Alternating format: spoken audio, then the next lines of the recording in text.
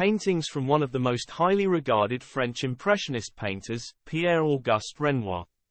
The young Renoir struggled with his family's financial circumstances so he left music school and started out as an apprentice at a porcelain factory. While he studied art in Paris, he befriended the young Impressionist painters, Frédéric Bazille, Claude Monet, and Alfred Sisley. In the 1870s, Renoir became one of the leading painters in the Impressionism movement. His lively paintings mostly celebrated the beauty of feminine sensuality.